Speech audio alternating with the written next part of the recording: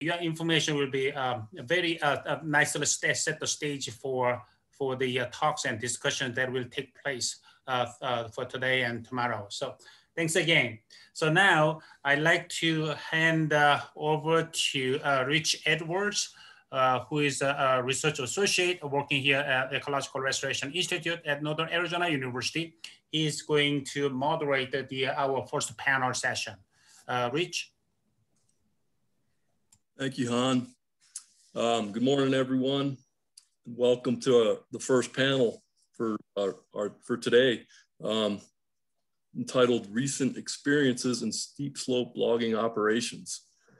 Uh, we have three excellent speakers uh, on tap, basically with with very relevant, up to date information on this subject matter. Uh, just remind folks that We'll be taking questions at the end of all three of our panelists. So if, if the question, if you can direct the question to the individual panelist, if, if you can, or if not, we'll just throw it out to the to all three of them if, if it's a general question. But anyway, so that's just a reminder on that. But without further ado, I'd, I'd like to introduce our first speaker, uh, Hunter Harrill, and that um, he will be presenting on innovative ideas in steep slope logging um, Hunter is a, he's Dr. Hunter Harrill, and currently he's, he's assistant professor of forest operations at Humboldt State University in Arcata, California. His current research efforts focus on steep slope harvesting operations, such as cable logging and tethered, i.e. winch assist, falling and extraction. Uh, Hunter started his career in the industry working in the Redwood region of California for Green Diamond Resource Company that's a large private industrial forest owner, and then spent almost a decade studying and working in New Zealand uh, as lecturer and teaching forestry as a researcher, providing outreach and extension services to uh, New Zealand industry. He has provided technical advice on tethered harvesting practices to the California Board of Forestry to aid in the development of new forest practice rules. And he's co-taught numerous workshops worldwide on the subject. I, I was lucky enough to attend one of his workshops in 2018 at the Pacific Logging Congress in the Woods Show in Corvallis. Um, really well, was really impressed with Hunter, and I'm sure you will be. Um, please, please welcome Hunter, Hunter Harrill. Thanks, Rich. Um, hopefully you all can hear me and, um, and see my screen. I've got it up now. Thanks for the nice introduction. Um, so I'd like to share with all of you today some, you know, my topic is called innov innovative ideas in steep slope logging. And as uh, Rich said, I spent some time in New Zealand. I spent some time overseas in various countries um, viewing steep slope logging. So I've seen a lot of innovative ideas and, and new things people are trying. And I'd like to share with you today some of those things. Um, you note uh, you will see trade names uh, such as the machine pictured here on the first slide, as well as some um, forest practices in other countries like New Zealand where there's endless clear-cut limits. And uh, I don't necessarily endorse either or wearing shorts, but you can see me there in the middle standing in New Zealand wearing shorts. It's just something you do over there. Um, so today what I'd like to do is I'd like to cover um, really three kind of topics. So all around steep slope logging operations, but I'd like to talk about some of the new machinery and, and Lauren's cued into that. Um, some new tools uh, that people are using to help and also some new techniques people are trying all in steep slope logging operations. So steep terrain harvesting presents many challenges and, you know, globally, there's a lot of steep terrain. And by steep terrain, I mean slopes that are over 40% or about 22 degrees is our traditional um, kind of cutoff for conventional ground-based equipment. But on these steeper slopes, you know, in, environmental challenges can be higher. We might have more sensitive terrain. Um, and we might take uh, greater care in planning uh, to protect to protect environmental resources. Uh, safety is is probably the biggest one that we're all aware of in terms of these steeper slopes uh, present more safety challenges. There's more exposure to hazards, And this is particularly true for the traditional ta tasks of choker selling, setting and tree falling. Um, if we have to do those by hand, you know, we're working against gravity, trees like to move, and, and we are presented with many hazards. Also, we know uh, that productivity tends to be lower uh, on these steep terrain harvesting jobs than traditional ground-based operations, uh, mostly to do with the difficulty of, of extraction or primary transport, typically uphill, creating longer cycle times, and of course, transporting longer distances traditionally than ground-based operations. And as Lauren pointed to, the, the costs really in, increase with the difficulty of these operations. And the costs are, are notoriously higher than ground-based logging. And that typically centers around more specialized equipment like yarders, uh, which are not cheap, so are higher daily costs, but also uh, steep terrain or, or cable logging crews tend to carry more labor in terms of more workers. So they're larger crews. Um, one thing uh, in terms of talking about machinery that's changing the game, uh, cable assist, as Lauren mentioned, is really opening up the doors. And it's something we think of as a, a relatively new practice, especially in the Pacific Northwest. But actually, this is pretty mature. People have been doing this um, since the mid 80s or late 80s in Europe. Uh, initially, the technology uh, was added to forwarders so they could match the slope climbing capabilities of the harvesters and cut plank systems. Um, started out with just simple mechanical drives like a chain drive uh, hooked to the hooked to the wheels and hubs that would spin um, the drum in, in that rope.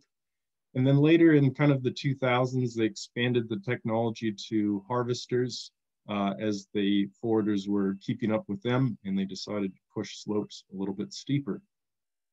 Um, and they've gotten more advanced too. They're now um, automated, computer controlled. So they've changed a lot over the years. There's over um, probably more closer to a thousand of these of these units operating daily in Europe. In the last decade, we've really seen the expansion of uh, this winch technology into New Zealand, uh, which I viewed a lot of the development there, as well as into Canada and now the Pacific Northwest and South America. And that was really an, adap an adaptation in those countries to uh, bring this concept to whole tree logging systems. Uh, so the Europeans call it cable assist because the uh, cable is assisting the machine's traction. Um, and then you can see here some of the machines developed over the last decade, uh, which we refer to as winch assist machines. And these are maybe a little bit more common of what's being used in, in North America uh, for whole tree yarding operations.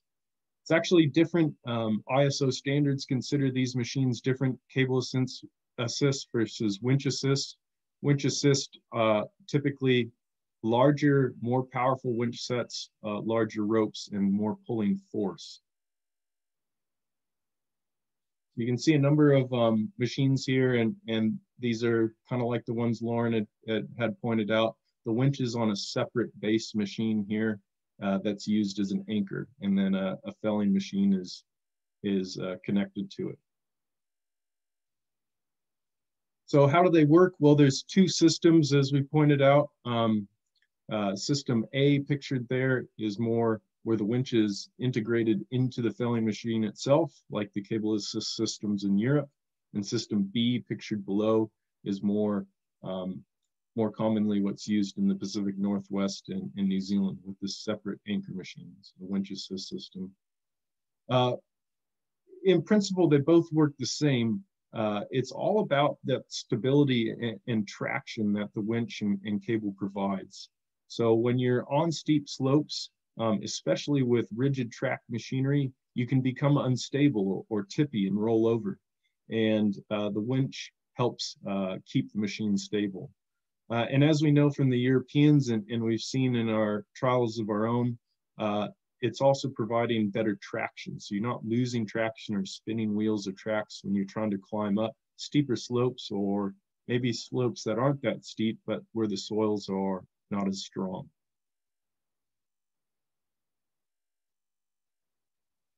So uh, tethered, uh, we call it tethered machinery kind of is a, is a term that's more commonly used here in, in the Pacific Northwest.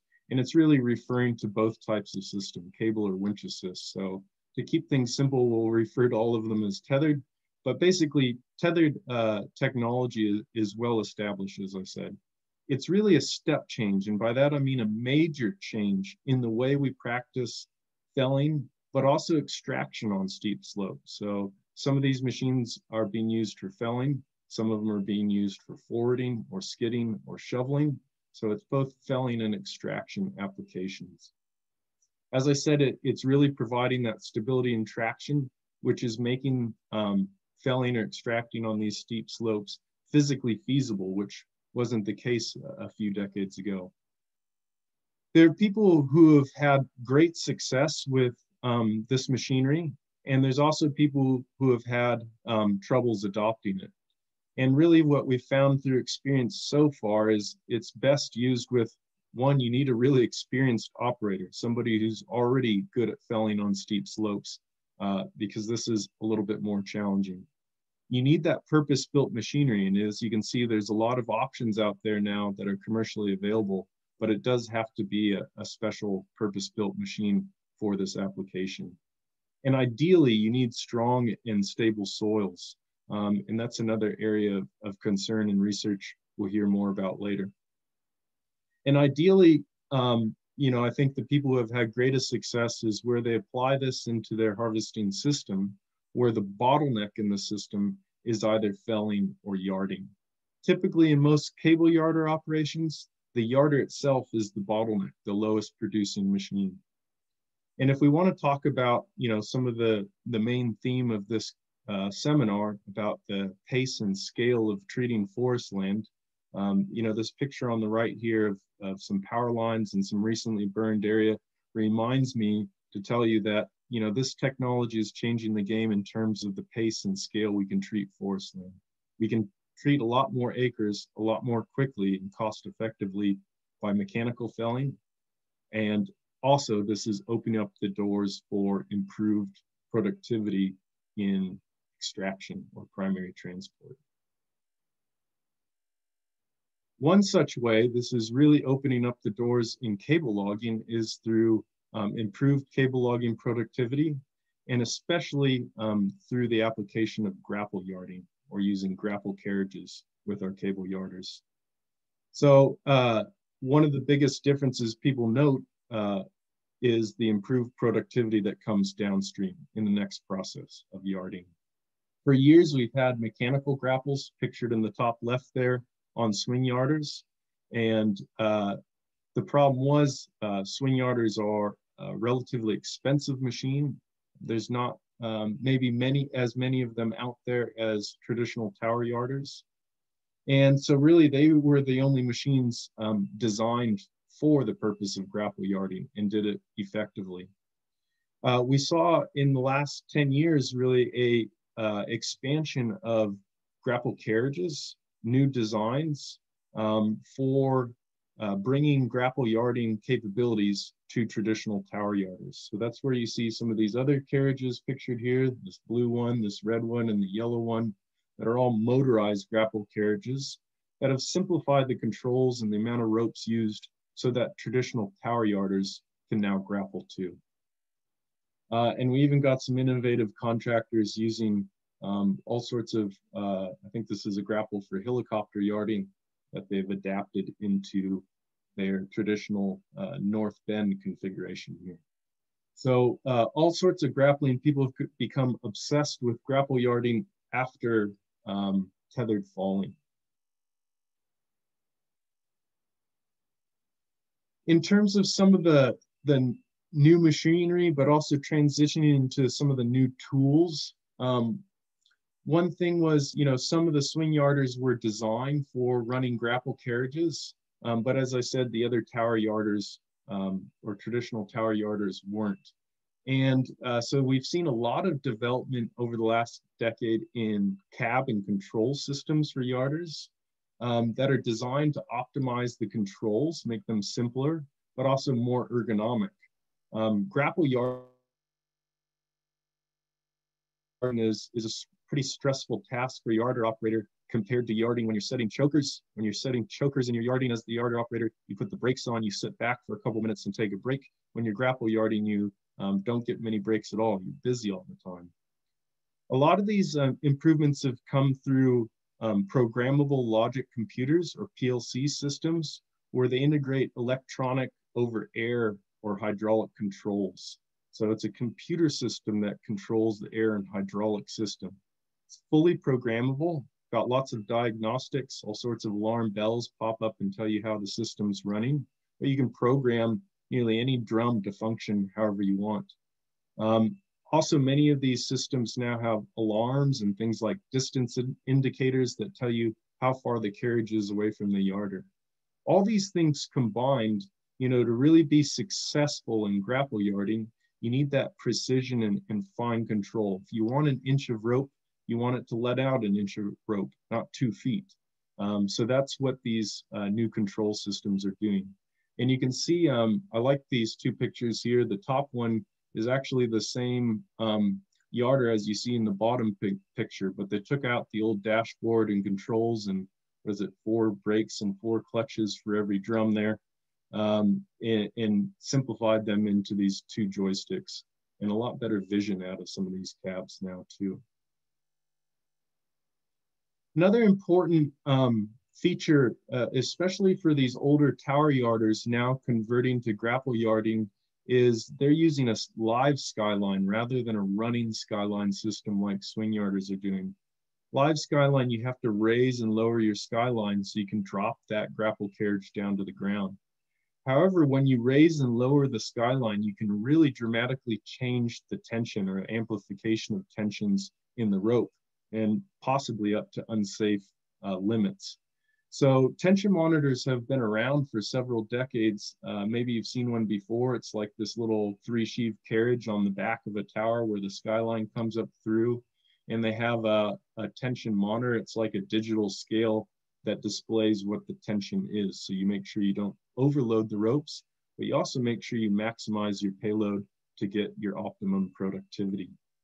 The problem with these were was, um, you know, as a yarder operator, you can imagine if, if something goes wrong or gets stressful, probably the last place you're looking is at this little monitor. An alarm bell, I think, would ring if, if you went over the safe working limit for the ropes. Um, but, you know, by the time you got things under control and, and look back to it, um, it might not be displaying the same tension as uh, you previously saw. So it's fluctuating and it's not stored. And if you don't look at it at the right time, you miss what it said. Um, some uh, research project we had a couple years ago was to convert this into more usable type display. So uh, we put, basically put a tablet in the cab and turned it into like a heart rate graph at a, at a hospital. So here's the detention displayed. It's live, it's scrolling along as you're working. You can see the fluctuations in tension. You can see the color-coded zones for the different tension limits. Um, and there's also, it's downloaded, there's statistics, and you can zoom and scroll back and see what happened when you hit that stump or, or whatever happened um, in a difficult or challenging scenario. And this information is really useful because it's helping people learn uh, how their machines are performing, but also help train operators who aren't familiar with operating the system. We also see, um, again, moving towards the, the smaller scale equipment, we're seeing many new um, developments in yoders, so excavators um, that are used for cable yarding and the winch sets and, and, controls, again, are improving on those machines. But we're also seeing um, kind of more specialized excavators uh, with their own purpose-built uh, mast or, or tower and reconfigured drum sets to uh, do cable logging on smaller jobs. And those are also being paired with uh, grapple carriages. Here, these machines, both the yarders and uh, the carriages are made by Summit Equipment up in Washington.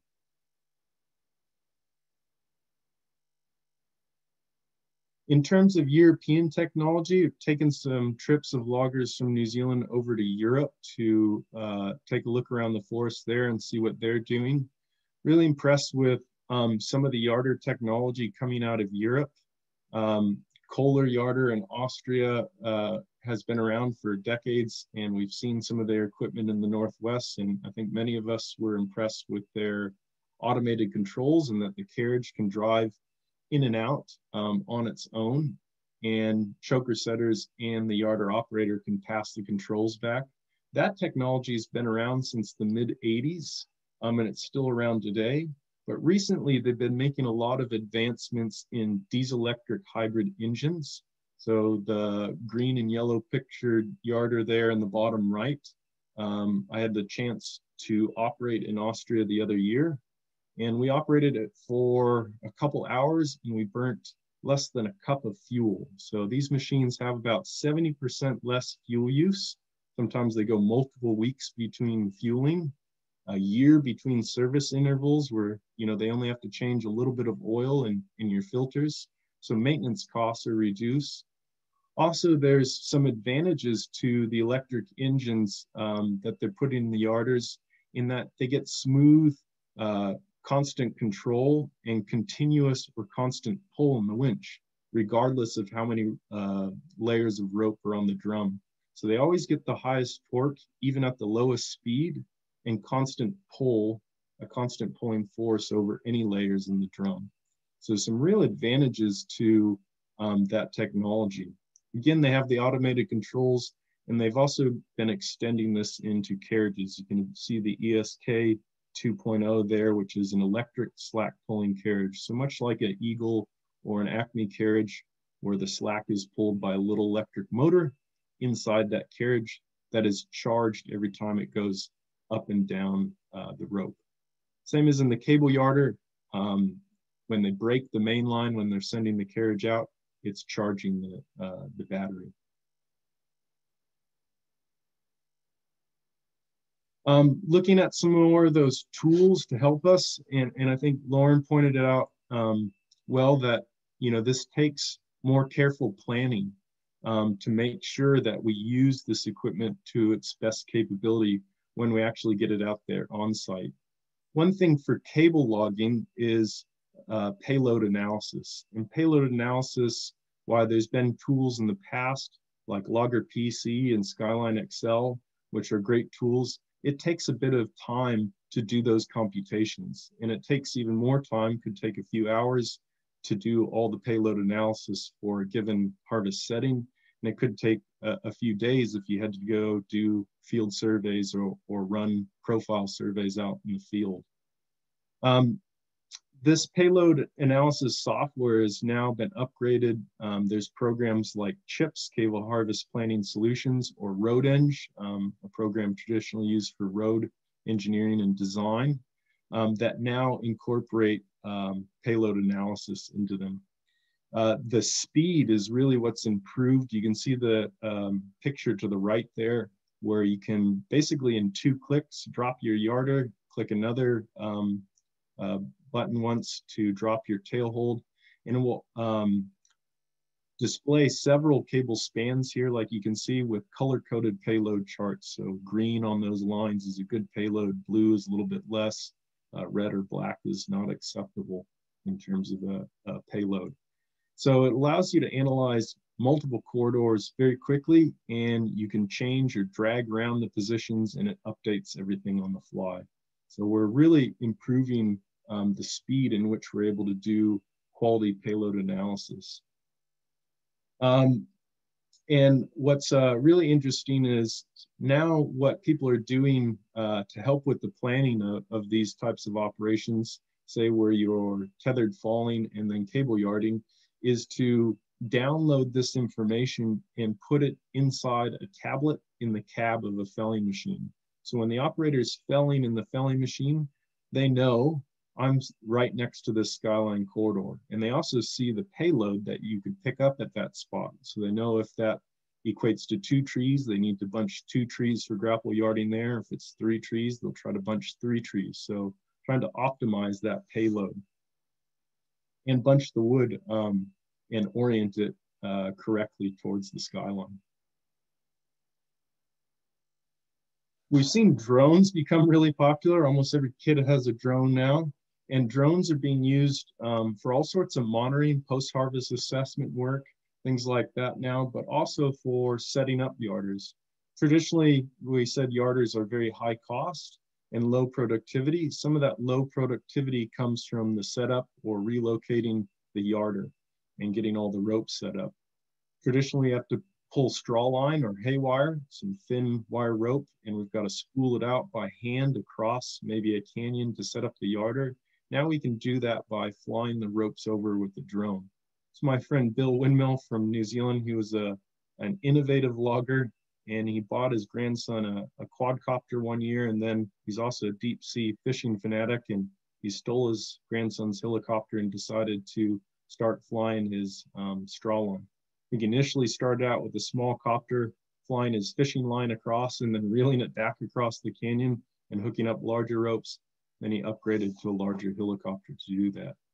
Basically, the, the seven millimeter um, synthetic rope he's uh, using are really strong, as strong as steel, um, but only weigh about 40 grams per meter per yard. So it's very lightweight, and that's what's able to um, fly the rope over with the helicopter. This has saved um, Bill a lot of time. He said it takes about two workers less than a half hour to fly the helicopter and straw line across, or it could have taken half a day with um, several workers. Uh, and he had a lot of uh, rock bluffs and cliffs in the forest he worked in, so it wasn't the safest for his workers to do that job. Camera systems are making their way um, into all sorts of parts of operations. Um, I like this old picture I pulled from, I think the late 70s or early 80s in British Columbia. We had this idea of video yarding TVs, they called it. Um, as you can imagine, back then, uh, electronics and technology wasn't um, good. And, and I think they had problems with running an extension cord out uh, to one of these cameras. As you can imagine, extension cord wouldn't last very long in a logging operation. Uh, but maybe it was an idea that was a bit too far ahead of its time. But nowadays we see um, camera systems like this camera on a tripod that's set up uh, either to view um, grappling for a yarder operator here or really view any part of, of a harvesting operation. So you can see here, here's a newer version. It's a tripod kind of camera. You, you can stick it anywhere in your job and then somebody um, has a TV screen in the cab of a machine or, or maybe in a pickup truck or something and, and has a remote control where they can pan and zoom and move this camera around.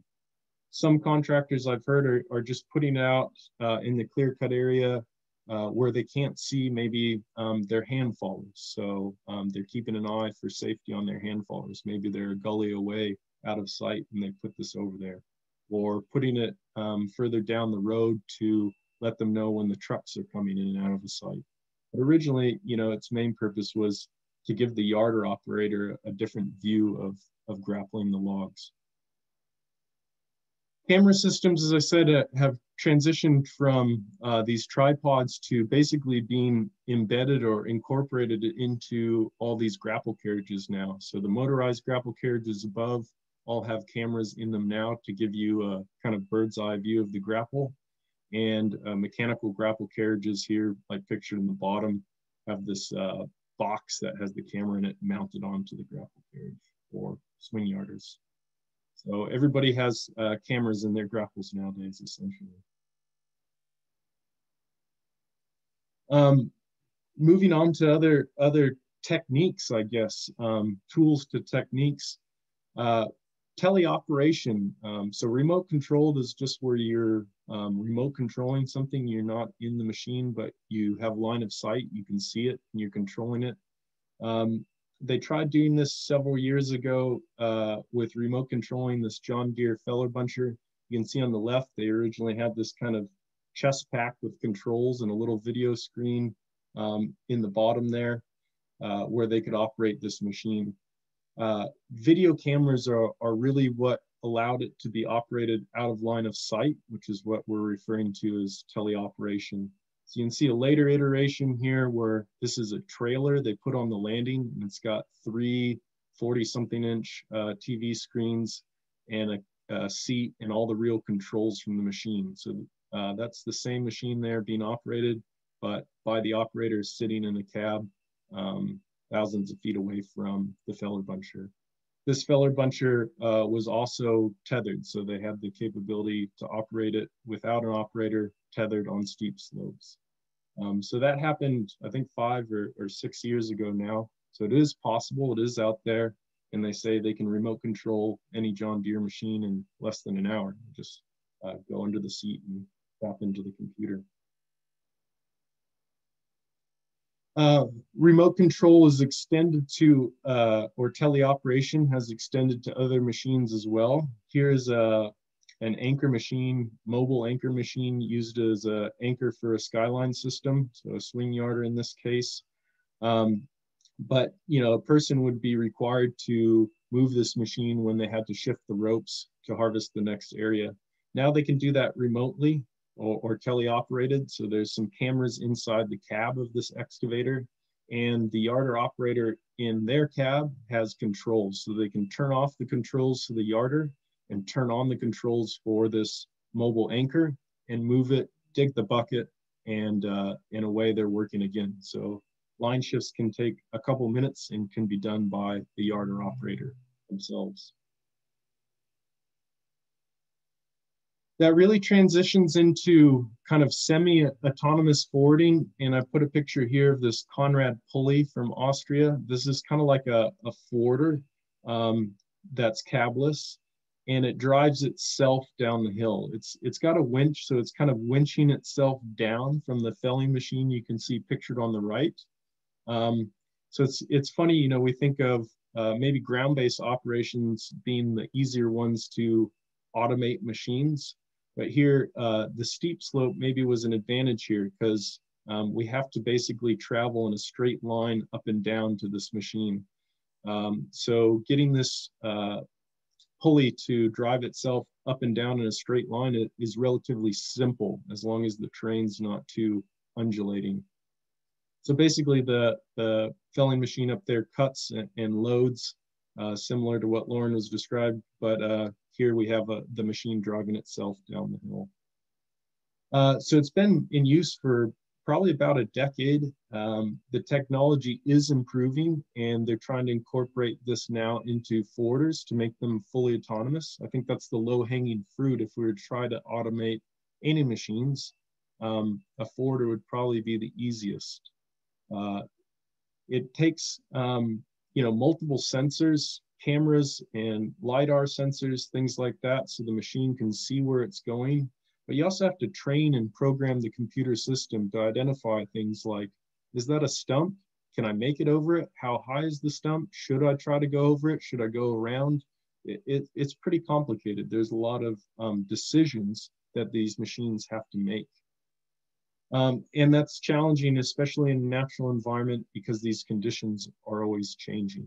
But that's the future. I do think we'll see more automation coming in, in the near future. You know, it's coming, extending from mining and things like that, where they drive heavy equipment um, thousands of miles away in underground mines in Australia, for example, with no people on site.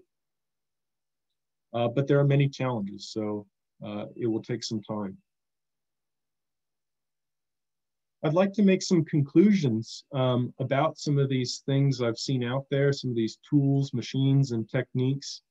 And look, basically, there's a number of new developments out there, and there's and there's still many more to come. It's a really exciting time to be in forest operations and engineering and, and equipment development. And I think it's similar to um, the pace and scale we're accelerating with computers in that industry, maybe in the early to mid 90s.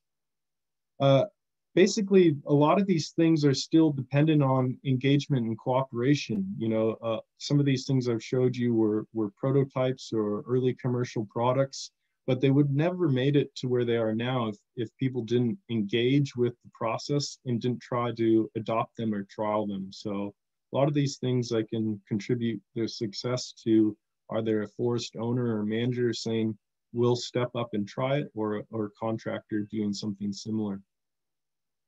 I hear a lot of people, um, I've given similar presentations around the world and I see a lot of people who say, wow, this is amazing. It's really interesting stuff, but that will just never work in our area. And, and they have a variety of excuses, um, you know, culture or, or money or, or all sorts of things. But, you know, the people who are having success with the, these systems aren't talking that way. They're the people who are asking, how can we make it work? How can we make it happen? Um, they're the people who are saying, I can't do the same thing over and over. That's the definition of insanity to do the same thing day in and day out. They said there's got to be a better way. So they're really innovative people. To try new things, you have to be innovative yourself. And you know, trying innovative techniques or equipment does take a collaborative approach. Like a lot of hard things in life, uh, maybe we can't do it on our own. So I see the best success from these um, where there's a collaborative approach, maybe between the forest owner, the contractor, or, or even more involved, involved parties. So um, there's many proven models out there and great examples where um, you know people have supported each other with uh, time, you know, or resources or or money to make these things happen. So you know, some to invest in new equipment and new innovative ideas takes an investment of time and, and money and, and some people have come up with kind of cost sharing ways to do that. So look, thank you very much for uh, inviting me to the presentation today and I'm happy to answer any questions at this time. Thanks, thanks, Hunter. We'll we'll hold questions till the end. Um, as I said um, when we started, um, in the interest of time, I think we, we might, might want to move on. And, and yeah, thanks for the that's incredible amount of new and interesting technology. Um, it's like it's blinding how how fast it's being developed. And um, thanks, Hunter. Appreciate it. Absolutely. Anybody has any questions, they're welcome to type them into the text. Q&A, please. Thanks. Um, our next speaker is, um, is Bob Rich. Uh, he's a retired regional logging specialist from Region 3 of the U.S. Forest Service, and he's a position which he held for 10 years. Uh, prior to this time with, with the U.S. Forest Service. He was a state trust lands forester for 22 years with the Montana Department of Natural Resources and Conservation in Missoula, Montana, of course. He also taught timber harvesting at the University of Montana for 14 years as an adjunct instructor, and he currently lives in, in Missoula and still teaches in the U.S. Forest Service's uh, Logging Road and Roads Institute, Larry, um, in retirement and I've taken taken it from Bob. He's a great he's a great instructor. Um, I've taken some of his courses both in person and and uh, virtual. Um, he and his wife uh, also own and operate uh, operate a noxious weed biological control business in Missoula. But anyway, with uh, no further ado, let's uh, go ahead and uh, introduce Bob Bob Rich. Okay. Well, thank you. Well, good morning. It's a pleasure to be here today. Um, I'm going to be talking with you a little bit about some steep slope projects that I was associated with in my time down in Region 3. I'm also going to be sharing some thoughts on planning considerations, particularly on Forest Service ground when we're looking at these types of projects. So without any further ado, I'm going to attempt to screen share here and get right into things.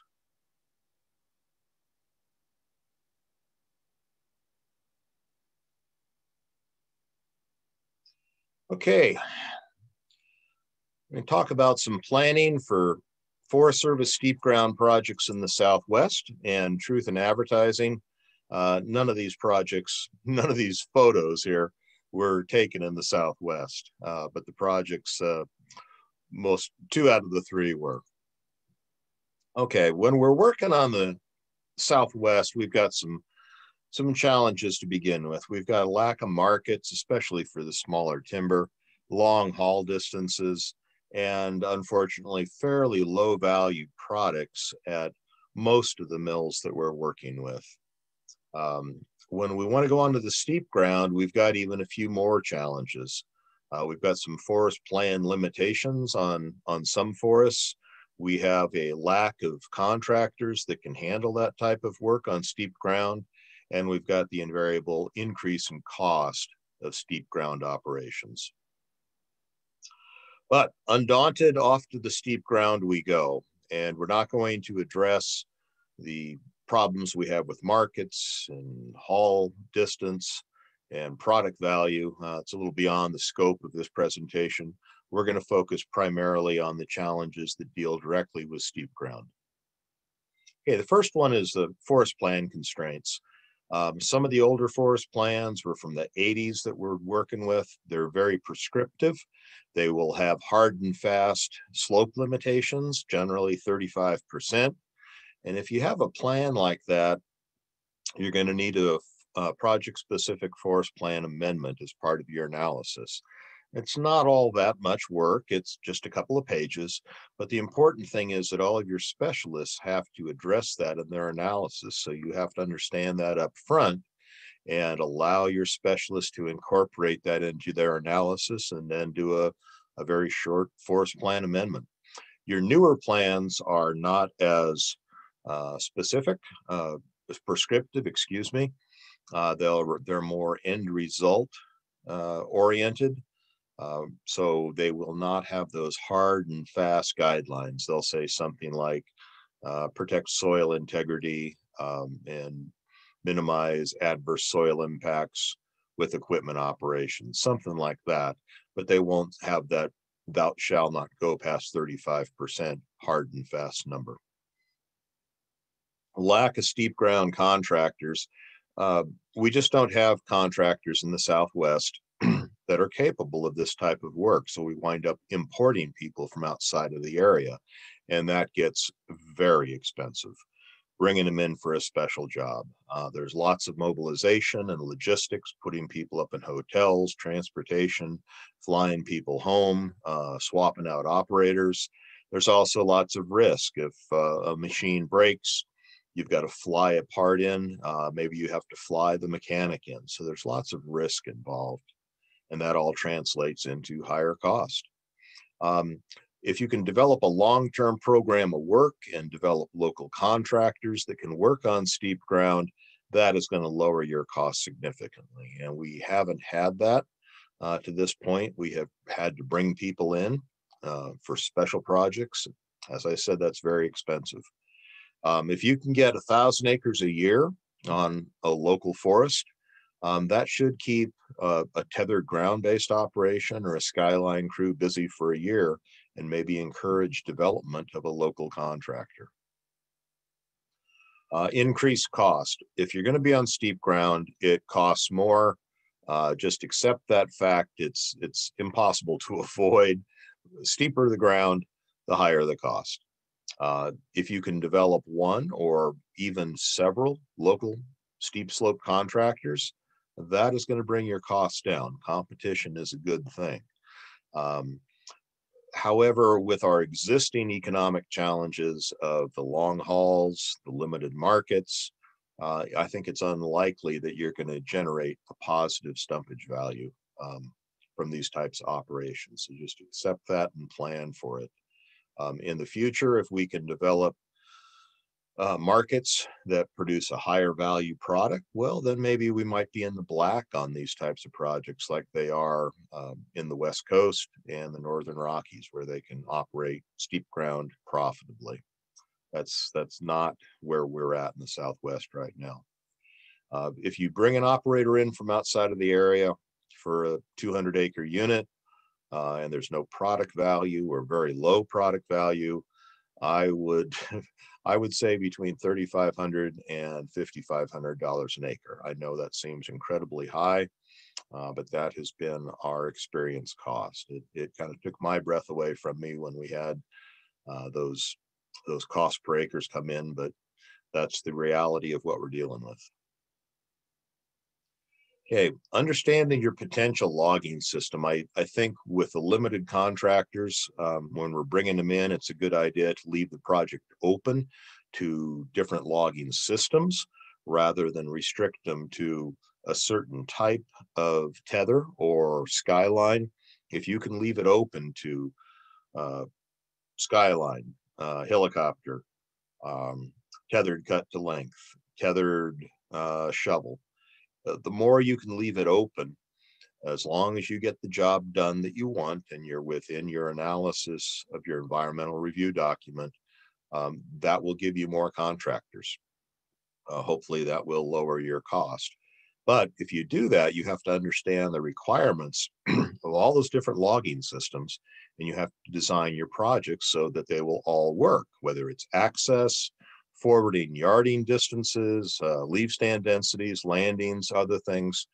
If you're going to open it up to all the different systems, you have to design a project where all the different systems will work. And if you have a, a system that you really do not want for a reason, then you have to specify that such and such system is not acceptable.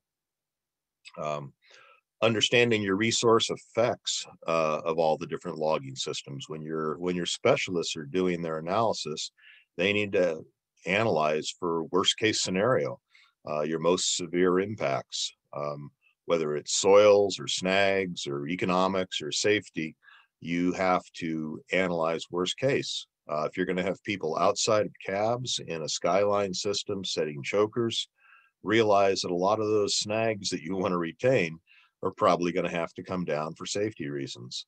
Uh, conversely, if everybody's protected in a cab, if it's a highly mechanized show and it's all done with tether, then you can probably retain a lot more of those snags, but you do have to analyze for kind of a worst case scenario. Okay, the projects that I've been associated with, um, they've been in three different regions. My region kind of loaned me out to region two and four to help out with some projects. And we're briefly going to go over them. Uh, we had uh, Region 2 had a project at Monarch Pass ski area. Region 3 was Ski Apache, and Region 4 was Bald Mountain, uh, Sun Valley. Okay, first one was Ski Apache. Um, this was down at Ruidoso, uh, about 200 acres of hazard trees within the ski area. It was in a stand replacement fire. Uh, we needed to take the hazard trees down. Uh, no markets at all for the material. It was all forwarded off the hill. And as you can see right here, uh, those are the forwarder trails. They took it down to piles and the district burned the piles as soon as they were off the hill, uh, completed in six weeks. Uh, that was Miller Timber in 2018, did that with a tethered cut to length system. Uh, Bald Mountain Stewardship is Sun Valley on the Sawtooth National Forest. Uh, fuels reduction and forest health were the objectives. They've completed 110 acres out of 830 in the project area, uh, 2019 and 2020. It was a cost share with Sun Valley Corporation where they kicked in money and the Forest Service kicked in money. Uh, limited, very limited products. Uh, went to a rough cut sawmill in Shoshone and local firewooders they did have some extreme forwarding distances. The uh, it wasn't really planned to have log truck access. It's a ski area, and they wound up forwarding material over a mile off of the mountain. Uh, this lower photo here is the parking lot of one of the lodges at Sun Valley, and the forwarders went right between the buildings at some of the ski lodges to deck this material down there. Uh, the upper right photo here is an area that had been thinned. Uh, that provided new glade skiing for Sun Valley. And the lower photo is looking right down a forwarder uh, harvester corridor. The city town of Sun Valley and Ketchum is right over here, just out of out of the screen. Monarch Pass was uh, in Colorado, uh, just outside of Salida on the Pike San Isabel. This one was dead spruce. It was a collaborative with the Arkansas River Watershed Co Collaborative. Uh, the contract with Miller Timber, the contractor again on all three of these was with the Arkansas Watershed Collaborative, uh, 183 acres done so far in 2020, and they have a long ways to go. The project area was was 3,000 acres. Interesting thing on this one is it was a CE under the Farm Bill. And I said, well, you're going to have to do a forest plan amendment because they had a hard and fast slope limit in there.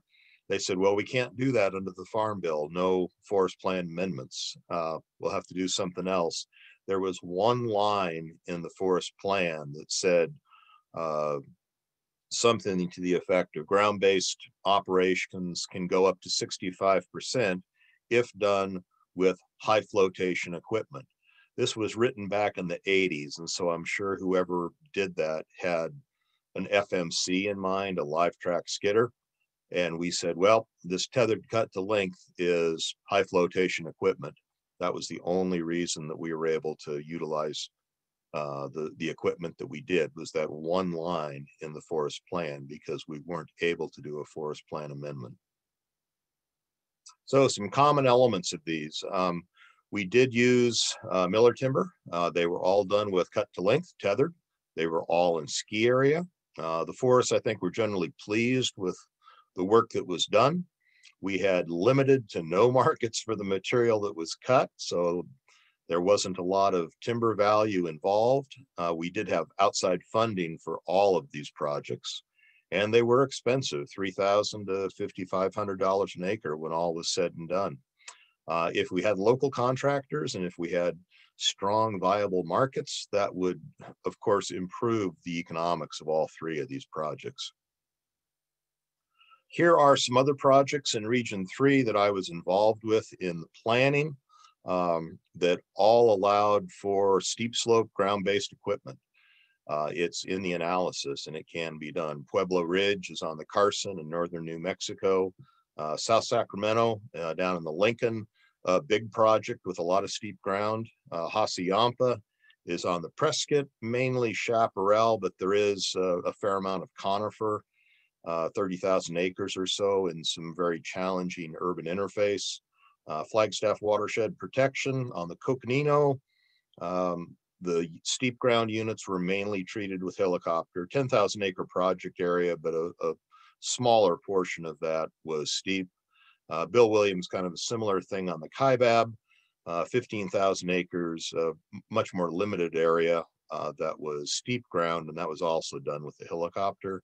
And the biggest project is probably Four, 4FRI uh, uh, for Forest Restoration Initiative, for Fry, uh, the Rim Country EIS, where we analyzed for uh, steep slope operations. There isn't a lot of steep ground there, uh, 1.2 million acres, but most of it is pretty darn flat. But there was some steep stuff on the Tonto forest. And this is something that could work too. Working on the steep ground is nothing new. This was back in 1900. Um, this was uh, a log chute down into the Klamath River. They logged off the, the plateau up above as a big plateau and they needed to get it down to the river. So they constructed a log chute. Uh, that log chute is half a mile long and it drops about 850 feet. Uh, they said that the logs, by the time they hit the river, were going about 80 miles an hour. Uh, what's interesting to me is all the all the logs that jumped the chute here. So clever stuff they did over a hundred years ago. So that is what I have for you folks. Um, I think we're gonna have some time to answer questions uh, after the presentations for this panel is done. So pleasure to be here today and look forward to answering some questions. Thank you very much.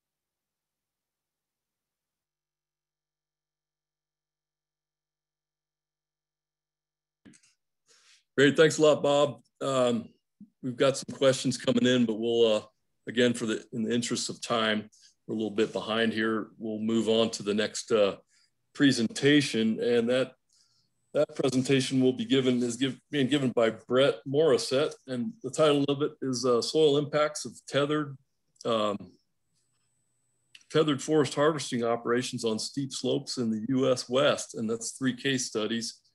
Um, real quick background on Brett. He's a senior faculty research assistant in, in the Department of Forest Engineering, Resources and Management at Oregon State University. He's uh, has a BS in Forest Engineering, Master's in Forest Hydrology, both from Oregon State, and he has held his current position since July 2015. Um, his work has included soil sampling, analysis, watershed studies, and recently tethered logging studies throughout the Pacific Northwest. Um, Brett's been working with Dr. Woodam Chung and his team at Oregon State since 2018 to uh, further the understanding of impacts of tethered logging on different soil types and water. Uh, with that, I'll, I'll take it over, Brett. All right, I, I pre-recorded, so Damon, are you gonna fire it off? Hello, this is Brett Morrissette with Oregon State University. And I have a presentation to share with you, soil impacts of tethered forest harvesting operations on steep slopes in the Western US, three case studies.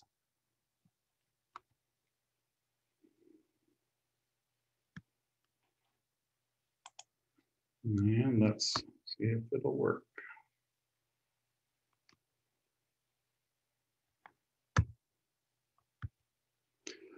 Our three studies took place in two of them in Oregon, one in Washington. The first one was the quick draw study on the Oregon State Research Forest near Corvallis, Oregon. This was a thinning cut to length um, in the Oregon Coast Range. The second study was on Lone Rock Resources property and harvested with their crew. It was a tethered clear cut with skyline yarding in the Cascade foothills near Sutherlin, Oregon, which is near Roseburg, Oregon. The third study was Greenhorn tethered study near Moscow, Idaho, on the St. Joseph National Forest managed by the Nez Perce Clearwater National Forest. This was a tethered res restoration cut with a tethered bar saw and multiple yarding techniques.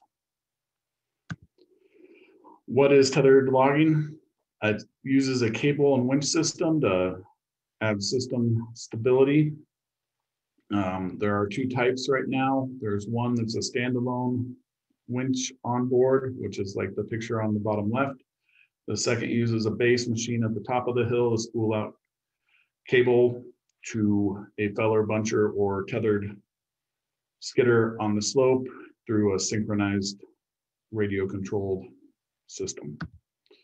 What does tethering do? Tethering takes a portion of the machine load and redistributes it over the tracks or wheels. Um, an attachment on the uphill side of the mach machine creates a rotational effect, which gives more track area into effective ground contact. More effective ground contact reduces maximum ground pressure and slip and increases machine stability. Here's a diagram of pressure cell testing um, without tether. On the upper left, you can see the pressure cells were black at the bottom, red the next one up the hill, blue, and then green at the top under the tracks.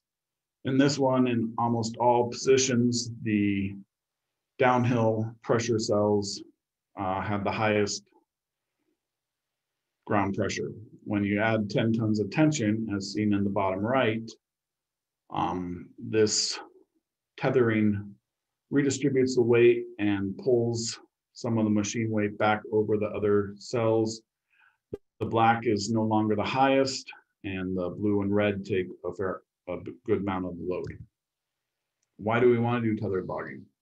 Safety. Timber falling is one of the most dangerous jobs in the US with the highest fatality and injury rates. In 2015, there were 132.7 fatalities per 100,000 full-time equivalent workers. There's a limited workforce willing to do this work on steep slopes. Um, the hours, the work is physical, hard, elements, hot, cold, wet, snow. So yeah, and then there's economic efficiency. Mechanized harvesting is more productive than hand falling. Um, you can see in the bottom left, there's the traditional hand faller with a hard hat, chaps, gloves, eye protection. And then there's the rigging crew with hard hats and gloves. And then you put people in tethered machines. They're in a climate controlled cab that's uh, forestry rated, take impacts. So if something falls that's not expected, they're in a much better condition. The first study we did was the OSU quick draw thinning. It was a cut to length operation. The total harvest area was 144 acres, 142 acres of 60 year old Douglas fir, average DBH of 14 inches and 108 feet tall. These were on clay soils that were well drained this was conducted in August 2017, which is the dry season. using Ponsse Bear and Elephant King, and this was a comparison of tethered versus untethered. So before the, sorry, before the harvest, um, bulk density samples were taken and penetrometer readings at 10 centimeter intervals from 10 to 15 centimeters in depth at 25 or 50 foot spacing throughout the corridor. Corridor A was about half the length of corridor B, so corridor B had the 50 foot spacing. This took into account soil compaction at multiple depths. So after the harvesting and forwarding, again, the bulk density was collected along with the penetrometer readings. And this time it was between tracks, under the track and outside the track. On the untethered, we see compaction after the harvester went through, as well as after the forwarder picked up all the logs. Whereas with the tethered system, we see that there was loosening after the forest, the harvester went through felling the trees. And that loosening stayed at the surface, bulk density sampling. And then there was some compaction right under the tracks at 10, 20, and 30 centimeters and outside the track. The tether may help keep the equipment operator in a better path because he's on the cable. The second study was Lone Rock Resources in Sutherlin, Oregon. This was a clear cut, about 200 trees per acre, 35 acres, average tree size 224 feet, using a Tigercat LD LS 855D teller, tethered feller buncher with a bar saw, a Cat 330D base machine, summit attachment synchronized tethered system. Yarding was done with a Thunderbird TSY 255 yarder with Acme carriage. This was a comparison of hand falling with skyline yarding. Um, sky, the skyline, the hand falling area was yarded with the same yarder. And this was done in March and April of 2018, which is the wet season in this area.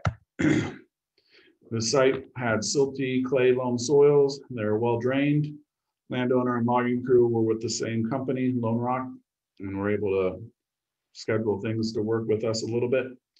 Site required a hand, portion to be handfall and it was inaccessible for a tethered machine because of the cliff. And the company was willing to add some more area to the hand falling for our study. And this was on Douglas fir forest and Mediterranean climate in Oregon Cascades with fine texture soils on slopes 30 to 60%.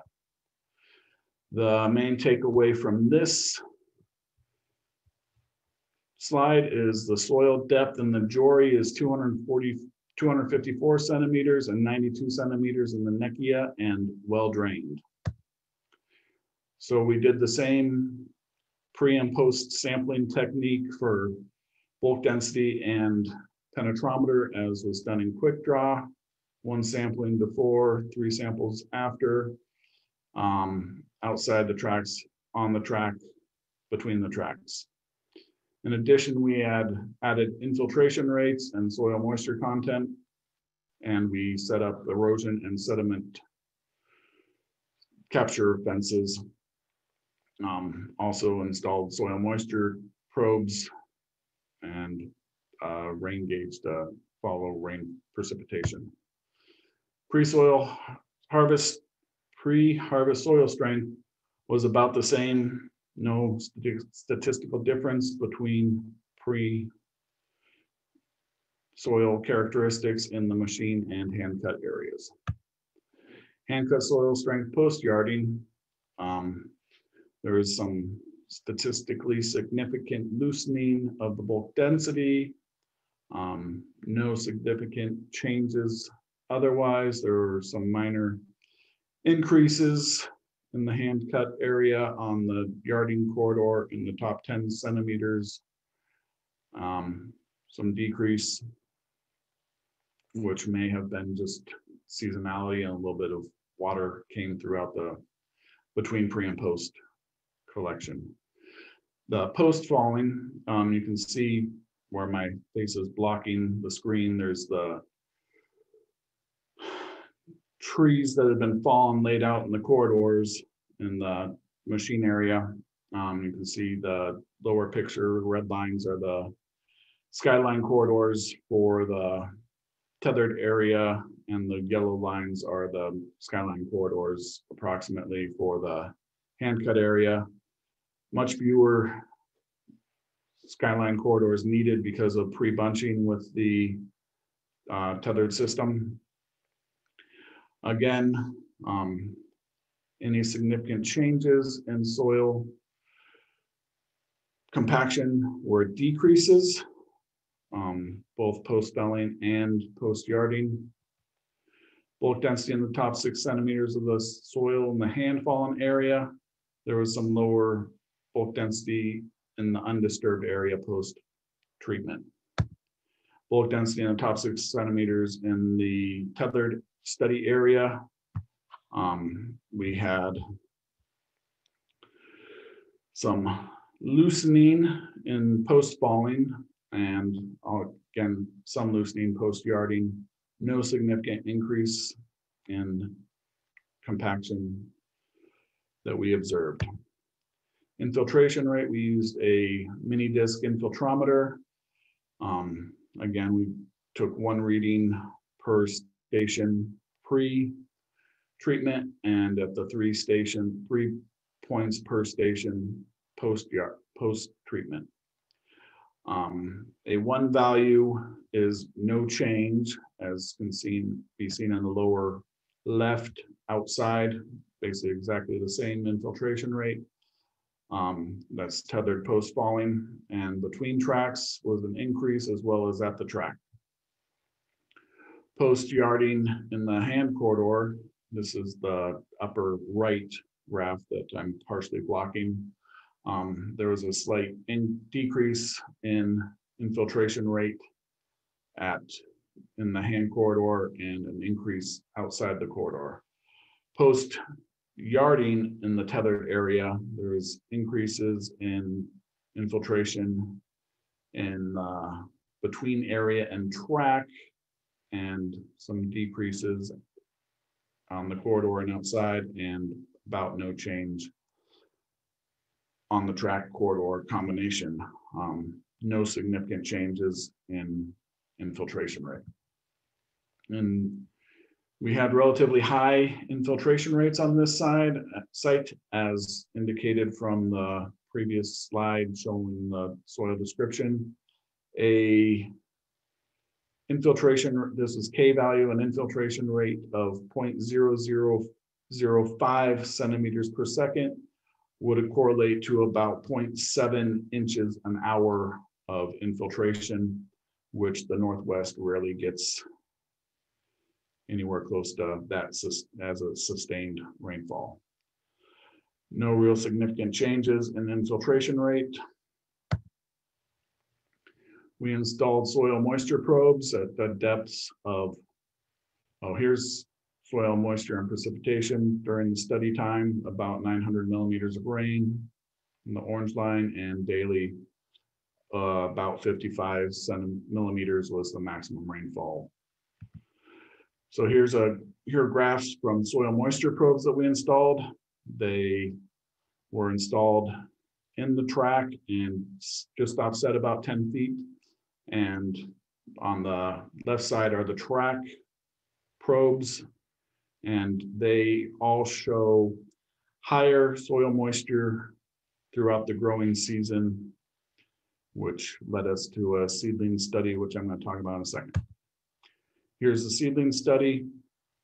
We, after we looked at the soil moisture probes and saw that there was appeared to be higher soil moisture under the track, we decided to do a seedling study installing planting seedlings directly on the track and offset from the track about 10 feet, as well as in the hand cut and in the main corridor that we studied. Um, seedlings were collected pre and post growing season in 2019 and 20, and this is from the most recent collection in fall of 2020. And it appears that the tracks had the best, had better seedling productivity than the non-tracked area ten feet away, and that the corridor had better seedling growth than the hand cut area. Still, this is brand new. We haven't gotten any statistics, but interesting. We installed erosion fences. Over the summer and fall of 2018, there was no rainfall between installations. The fences burned in the 2020 Archie Creek fire, and we had no sediment capture over the two winters they were installed. So the takeaways from this, there was no significant difference between traditional hand falling techniques and cable yarding to tethered feller bunching and cable yarding. The area of disturbance from cable yarding with the tethered system is more concentrated than hand area, four or five corridors versus for 15 hectares, 30 acres versus six or more corridors for three hectares, five acres possibly less overall site disturbance. And if there is site disturbance in the tethered area because there are fewer corridors, it might be easier to mitigate. Soil moisture monitoring indicated higher soil moisture directly under the tracks, which led us to the seedling study, and it indicates there may be a benefit to seedling productivity, but that is a big maybe currently. Greenhorn study. St. Joseph National Forest, managed by the Nez Perce Clearwater. So the restoration harvest, approximately 10 trees per acre left. There is tethered cutting and tethered skidder, tethered cutting, tethered shovel, hand cutting, and cable logging with chokers, tethered cutting and cable logging with grapple. And here's a, in the background of this picture are the toys they used. Study, study site about 3,200 feet to 3,800 feet. Average DBH sixteen inches, average total height ninety-one point three feet, sandy silt loam. Sandy loam to sandy silt to silt loam soil. Mount Mazama ash, six species of conifer on forty per forty-five-ish percent slopes. So corridor A was the tethered timber pro bar Timber Pro and bar saw with a tethered grapple skidder. Corridor B tethered bar saw, tethered shovel, non-synchronized. C was traditional hand cut with two fallers and a yoder with a slab carriage, and D was tethered bar saw with a yoder with a grapple carriage. Here's a look at the corridors, relatively close to each other. Our sampling, this time we took three samples per station at center line and offset fifteen feet. Uh, we were on site July seventh through the fourteenth, and there was no rain. Cutting equipment, go through this quick, tethered equipment. Ground-based, we had the John Deere skidder and John Deere shovel, swing shovel. And logging equipment, the John Deere Smart Yoder, slab carriage, and then the grapple carriage from the Summit. Machine combinations. There was the base machine, which was the three thirty C L and the seven. Summit tethered system in corridors A, B, and C. The cutting machine was the same for A, B, and C, the tethered Timber Pro seven sixty-five C. The John Deere nine forty-eight L to grapple skidder with synchronized Summit system. John Deere three seven, seven five six G swing machine with a Summit Smart Yoder, um, non-synchronized. And then, uh, the John Deere was used as a Yoder with a Summit SG eighty grapple carriage, two hand fallers and a, the Yoder with a slab carriage and two 20 foot chokers was used in corridor C. Compaction results, we did have compaction in corridor A from the skidder with the penetrometer readings and loosening of the surface soil bulk density. Corridor B, there was loosening of the bulk density and um, first reading at 10 centimeters and some compaction at depth. Hand area had no, had loosening. And the corridor D, the Yoder with the grapple carriage had increased compaction. Not all significant. So while displacement data has been collected and analyzed, has not been, has not been analyzed, is being analyzed. We pulled a string 30 feet across the corridor and at every foot, we took a measurement of the cross slope profile. Continuation of research is looking at the left, right, and center comparison and top to bottom, individual point comparisons, soil displacement, and erosion impacts we installed.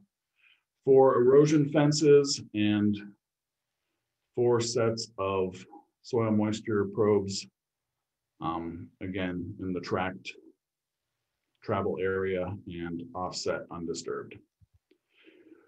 Collective conclusion from the three studies, um, while there may be some disturbance on the three studies we have conducted so far, those disturbances do not appear to be detrimental compared to currently accepted harvest practices. We would like to expand our research area to more areas with different soil types to see if what we have observed continues to other areas. Here, I'm going to quickly go over ASAP analysis for equipment soil operations planning, a ARC map add-in tool um, developed from Ben Leshchinsky and Woodam Chung and the Missoula Technology Development Center. Um, you can enter your machine type, ground slope, soil properties from SSURGO, percent sand, silt, and clay, and whether you're operating in wet and dry systems. Phase one, this is estimates total soil disturbance given tension, um, soil disturbance displacement, soil compaction at 4, 8, 12, and 16 inch depth, and rutting magnitude. It complies compatible with Forest Service disturbance assessment guidelines, determines stability of safe operation on given slope, and example of output in the bottom left there. Here we see compaction with no tether. Wide areas aren't accessible. As we go through, the wide areas will decrease with as we add tension. So five tons smaller. And now we have rutting without tether and the inches on the scale there. White areas are inaccessible again soil displacement, white areas are inaccessible. And then there's an accessibility phase two where you can enter your estimate the tether tension required to meet the disturbance thresholds. You enter what your allowable compaction, displacement, and rutting is, and it will, and safe operation. And here we'll look through some slides of how that worked. Um, so this you would click instead of disturbance accessibility, enter your maximum machine ten, tension, tension, displacement, sinkage, and compaction. Here we have 15% increase of bulk density and disturbance of 15% trank length and four inches of rutting allowable. Five tons of tension, 10 tons of tension, 15 tons of tension. ASAP. With new technology come new challenges. This is a chance to look at things before you're on the ground, see if the site may be right for you. Quantitative planning tools based on physics is a start. Knowledge about local soils and site conditions are critical. And here are some acknowledgements for our from our research over these three projects. Too many people to name, but a great thanks to all that participated and helped. And now I am going to stop share.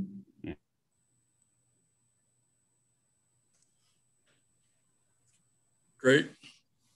Great presentation, Brett. Um, I think I think we're I've been told by the meeting um, organizer that we have until 1050 for questions. So my clock is telling me we basically have 13 minutes. So, um, and we'll, we'll make it up. Um, Damon will make an announcement after after the fact. But um, anyway, just going back, there has been a number of questions that have that have come in. Um, we'll go back to almost almost an hour over an hour ago. Uh, Matt Etzenhauser asked, "How does ca the cable assist equipment technique technique accommodate coverage of the entire stand when lateral reaches outside of the fall line corridor? The second question, do you need more corridors or can you or can operations occur angled on a side slope? It wasn't addressed to anybody specifically, but I. I'll, I'll answer that, Rich, and, and maybe others could provide some context as well. But yeah, I think what he's asking is, you know, machines have a certain limited reach, and outside that reach, how do you how do you fell those trees with a, a tethered machine? And the short answer is, yeah, you need to uh, provide more corridors for the machine to travel down. So you, if you're using a separate anchor machine at the top, like we've seen pictured, um, you know, you'll have to move that down the road or relocate it and start a new corridor. But there's also a, a common employed technique where an operator will go down a hill, straight perpendicular down the hill, and then they will turn around a tree or stump and redirect the cable. So the cable actually bite or bend around that stump or tree, but then that allows the machine to um, go down another uh, angled slope, side slope, but still maintain perpendicular uh, to that new slope change. Um, so I, I, hope to uh, maybe point out some of those in the video session during lunch. But yeah, as you can see, Brett showed in, in that uh, photo of the two units side by side, you can also shovel log uh, or swing those wood over to yarder corridors. And in that case, they are able to reduce those yarding corridors to four for that relatively large area. So that's another benefit. So one other thing that you can do, as Hunter mentioned, of using the stump, um, it's not recommended to turn on that stump more than 45 degrees in case you pull it. There's not too much cable slack to be on a free fall. Hopefully the machine's stable, but things can happen. So 45 is the state of Oregon's maximum recommended bend. I'll show a video in lunch too. There's, you know, that is a greater risk when the when the machine typically when you have that base winch machine because the rope's always pulling or moving and you can build friction and heat and uh, and create a fire risk rubbing on the trees like that. Uh, with the ones that are in some of the cut length system where the winch is integrated into the felling machine itself or the forwarder, that rope is more or less static when you bend around that tree. But yeah, there are different safety codes you should be aware of in, in your region. Um, and I hope to show a video that shows an alternative to that in the break where you can use a block or, or pulley to redirect the cable. And with, with the trail spacing, what we've, we've emphasized in our Forest Service training is you know, on the on the cut to length equipment, if the boom reaches 32 feet, you know, that could that's a maximum of 64 feet of reach. And we'll tell people don't ever go to the max, you know, go 50, 50 to 55 feet between your trails. And that's what you're going to need to uh to, to reach everything easily.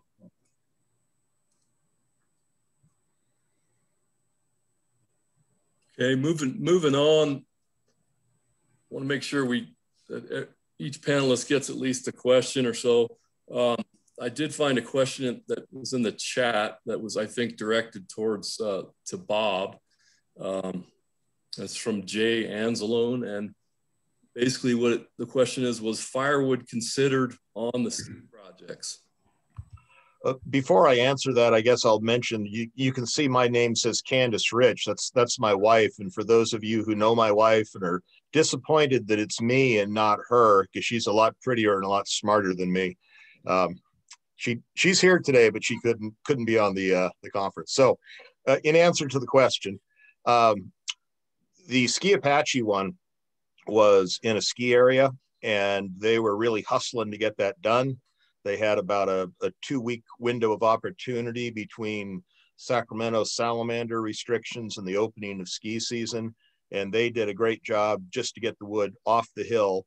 And the emphasis was getting the ski area operational. And I, I had mentioned something about firewood over there. Um, I, I, really don't think they wanted people in there cutting up firewood. Um, and the road in there is not great. So the real emphasis was getting that cleaned up and they had a very narrow window of opportunity and the district was burning those piles just as, as fast as they could Uh, at Monarch, that was all actually utilized. It went to Montrose Forest Products about uh, two hours away. Um, so that was went out in saw log form, even though it was dead spruce. At uh, Sun Valley, that did come off and it went down in the parking lot and was decked. And like I said in the presentation, that did go to a rough cut sawmill and to local firewooders. So when they had a market, they they utilized it. They did they did utilize everything on two of the projects, and on the one, you know, the overwhelming uh, purpose of that was we got to get this done fast and get the ski area open. Great, thanks, Bob.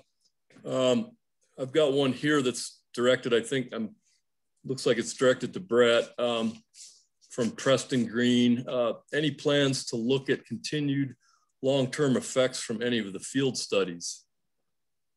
Um, there's no plan now.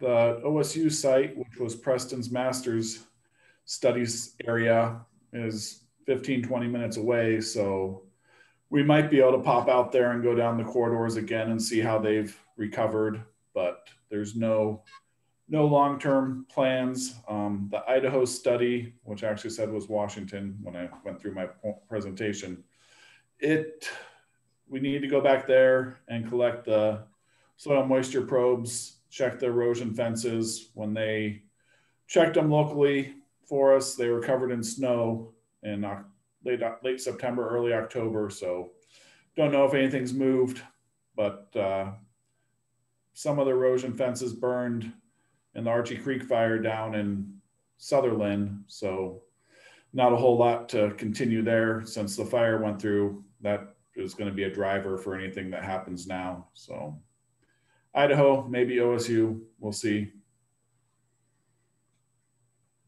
Great. Great. Thanks, Brett. Um, another question here from uh, from one of our keynote speakers, Loren, Loren Kellogg. Uh, it's directed to Hunter. Um, who produces the new cable planning software? Yeah, so the the newer types that have that innovative display of, of payloads on the corridors, there's two programs that do that. The first that you saw the screenshot from is CHIPS, which is Cable Cable Harvest Planning Solutions.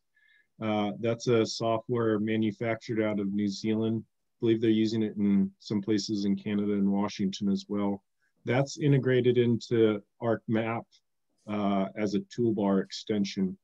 Uh, the other uh, program that's also very good is uh, uh RoadEng. Their new newest version has a payload analysis uh, component in it. So you can do your road and landing design and also do your payload analysis at the same time, which is nice. Um, but it's not integrated into ArcMap. And that's made by, what is it, Softree in, in British Columbia. And then real quick, we've got one that was right below it related to that. Um, can this camera technology be used for log truck traffic control in restricted roads and or highways? Yeah, it really depends on the on the quality of the the camera system and, and particularly the transmission of the signal. So that's been the uh, major issue with with all the cameras mounted on carriages or or those tripods uh, is getting over that line of sight issue. So um, they have different ranges, different companies, different models. So you would want to check into that range. But yeah, using it for something like traffic management, you know, I can see all sorts of ways that tripod type one can be used um, to monitor all parts of your operation. And traffic management would just be one of them. Great. Yeah, thanks, Hunter. Um, here's another one directed to, uh, it looks like Brett um, from Catherine Thomas. Uh, I've been excitedly awaiting results of Morris's study on the Nez Perce Clearwater. Has this been published yet? And where might I find a copy of the results? Thanks so much for presenting. Uh, we have not gotten the Nez Perce worked up yet. Uh, we got the bulk density samples done, done and through the oven I think it was in mid-November. So it's taken a long time to deal with the field data. Austin Finster, that's his master's. He's working on the soils data. Um, so he is scheduled to defend by June. So hopefully something will be out by then or before. Thanks, Brett. Uh, this one doesn't have any who it's directed to from James Maxwell. It looks like a general question for the panel. Do grapple carriage systems require more line shifts than carriages that use chokers? Usually, yes. Um, it, which is why, you know, uh, mobile anchor machines, as you saw pictured, are, are highly preferred.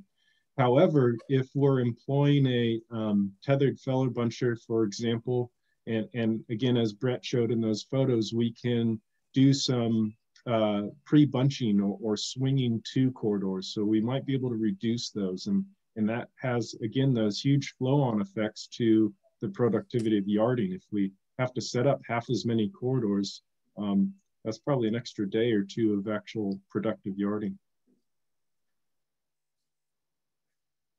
Great, thanks. Thanks, Hunter. Any other input from panelists? Okay, we'll move on to another one. Got another minute. uh, okay, here's one from Zach Miller for a tethered system. Is the harvesting cost comparable to traditional line machines because of increased productions, production and or more tons per day?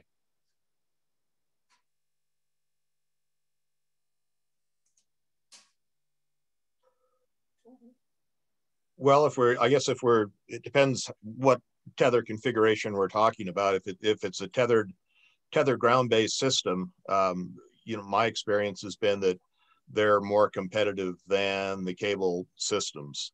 Um, and I, I, it depends whether we're just doing the the cutting or whether we're actually doing the extraction with with the tether also. If if they weren't more competitive than the cable systems, you know, we wouldn't be using them. I agree. I think there's a lot of a lot of variables in play there, as um, Rich noted. But the the general trend is is that yes, tethered felling is more expensive per unit of volume, uh, per cubic foot, per ton, per MBF, with a tethered system than with hand falling. However, the the yarding costs are, are substantially reduced through that improved productivity. So that's where the real savings are. Um, you know, I heard a crew saying they swing yarder crew saying they averaged eight to 10 loads a day. And then they got into where it was felled with a tethered feller buncher and, and all of a sudden they were doing 18 loads a day and they couldn't believe it. Um, but the, there was a big concern am, amongst um, cable yarder, uh, cable logging crews that, you know, these machines were going to replace cable yarding crews. And and I still think there's a need for cable logging crews, especially when we think about our infrastructure and um, economic transportation distances. So you've got to, you can shovel uphill with a tethered machine, um, but it might be more productive to yard that up uh, 3,000 feet than shovel it up 3,000 feet. Just like in, in ground base, you know, to follow up on what Hunter said, the the advantage of the mechanical cutting isn't so much the cutting itself it's in the subsequent skidding so it's the same the same concept that he pointed out uh, the savings is in the yarding. Hunter and, again there's that savings when, when we were in idaho they only could do about three or four swings before the logs would just start sliding down the hill because the branches would break off. So you seem to have had, at least at that, there was a limited distance for shovel uphill. And, and there's, you know, why there's not that cost savings in felling, as we said, because it is more expensive felling. Um, there's some flow on benefits in terms of uh, less breakage, so less waste on the site. We're actually recovering more logs. I'll show you that in the video session. But also, um, you know, in, in terms of the time, like we're talking about scale and pace of operations, you know, we can fell the same area with a tethered feller buncher in one week versus, you know, what would take three weeks with a team of hand fallers. So the speed at which we can accomplish the operation uh, is greatly improved. Great.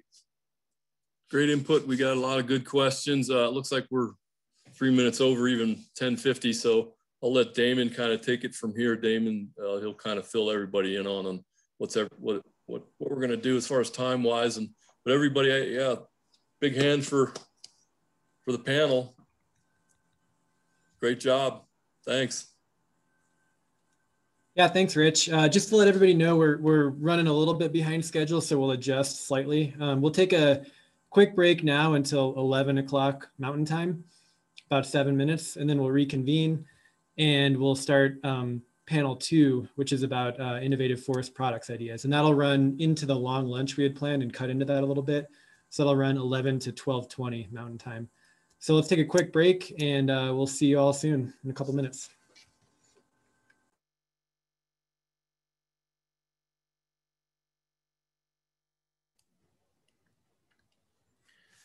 Again, the uh, just want to let you know you all can uh, use the same the the, the uh, web link Damon sent out to re-enter uh, our webinar using the same uh, password.